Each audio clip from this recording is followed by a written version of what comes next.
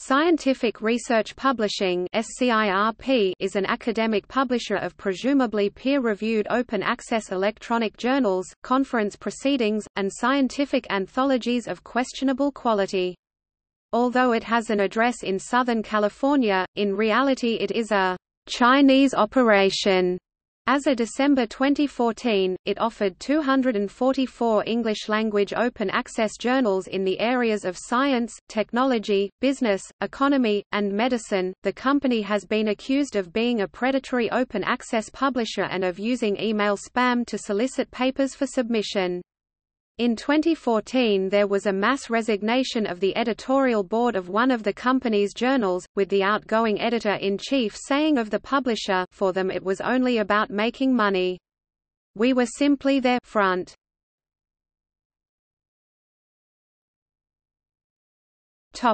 Open access type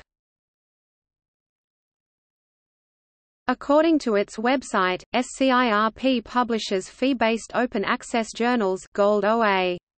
Payments are incurred per article published. Authors are permitted to archive their work Green OA.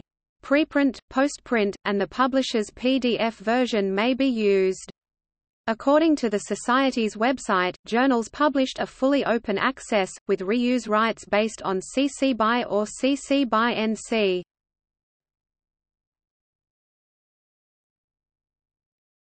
Topic: Controversies.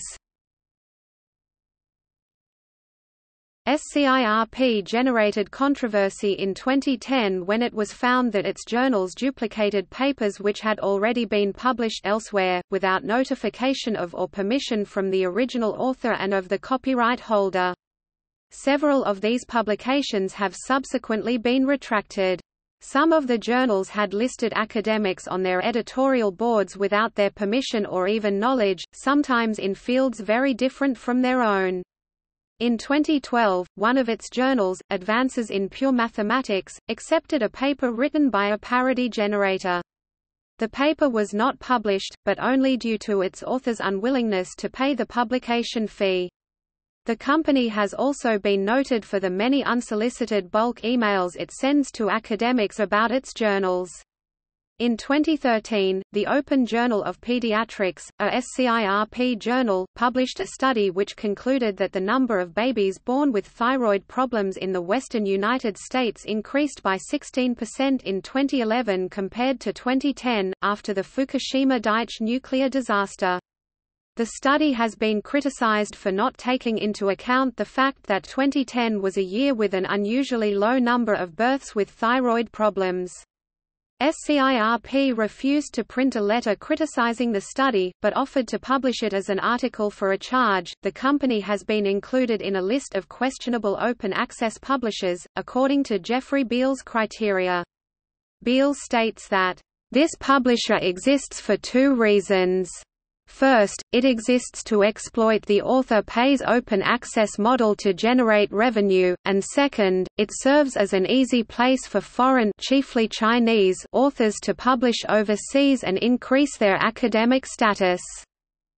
He acknowledges that its fees are relatively low, describing this as a strategy that increases article submissions, and that it has attracted some quality article submissions.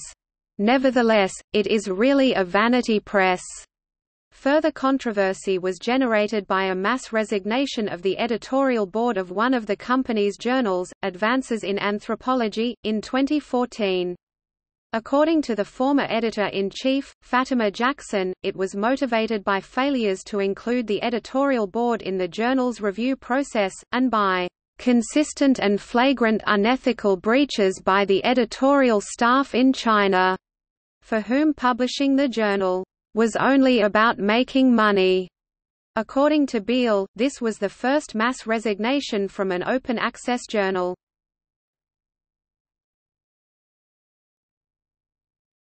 Topic. See also Academic publishing in China Predatory open access publishing Predatory conference Peer review Directory of open access journals